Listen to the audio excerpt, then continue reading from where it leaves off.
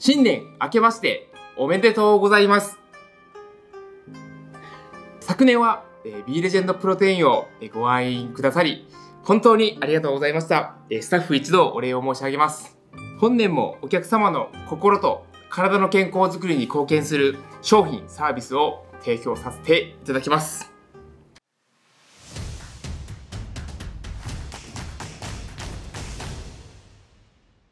まあ、今年ね、2023年も、まあ、B レジェンドは新商品を出しますし、コラボレーション先もね、何個か決まっております。まあ、そこでね、皆さんにね、予想してほしいんですけど、まあ、2023年は B レジェンドがどんなね、コラボ先とコラボするのか、どんなフレーバーを出すのか、まあ、予想がね、あればね、こちらのね、コメント欄の方にね、ぜひご記入ください。一体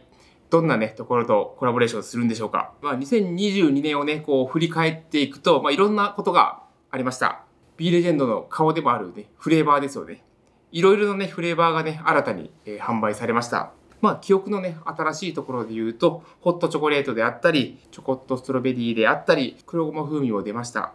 あとね、まあ、あの、南国パイン風味があるんですけれども、まだね、ちょっとテイスト変えてね、より酸っぱさをね、尖らせた酸っぱい風味っていうフレーバーもね、販売されましたし、あとね、酸味系のところで言うと、まあ、キウイ風味。この辺も新たに販売されました。まあ、2023年もね、多分ね、新フレーバー、現在もね、開発中なんで、この辺またね、楽しみにしてもらえればと思います。まあ、その他にもね、冷凍弁当ですね、ウーフーズ。ちょっとね、もしかするとご存知じゃない方も中にはおられるかもしれないんですけど、本当にね、便利。電子レンジでチンするだけで食べれるね、高タンパク低脂質、手軽にね、いい栄養を取れる冷凍弁当がね、販売されております。これもウーフーズもね、ありましたし、で、もう一つね、美味しいプロテインっていうラインナップがね、実は水面下で販売されてます。まあ、この美味しいプロテインは、え、ー、と、女性のためにね、開発した新たなプロテインだと思ってもらっていいと思います。B レジェンドの強みでもある美味しさをね、より尖らせたプロテイン。これがね、美味しいプロテインになります。まあ、その他にもね、あの、ビタミンがね、添加されてたり、よりね、女性に嬉しい配合成分になっておりますんでね、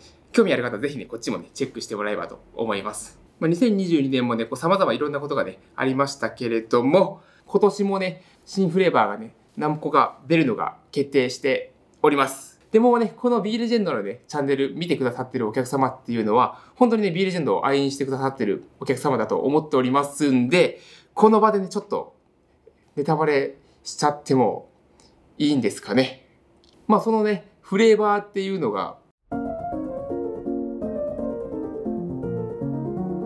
この辺が今ありますね。まあちょっとどのタイミングで出るかとか、どういう順番で出るかとか、もしかすると、今の段階では決まってるんですけど、やっぱりこれじゃ出せないってなる可能性もあるんで、確定情報ではないんですけど、今まあこれぐらいのね、商品がストックとしてありますよっていうような形で思っといてもらえればいいと思います。この他にもね、実はまだ動いてる企画とかもね、たくさんありますんで、まあね、2023年も期待してお待ちいただければと思います。2023年も B レジェンドはお客様の心と体の健康づくりに貢献する商品、サービスをね、提供させていただきます。えー、引き続きね、B レジェンドを応援してくだされば幸いでございます。本年もどうぞよろしくお願いします。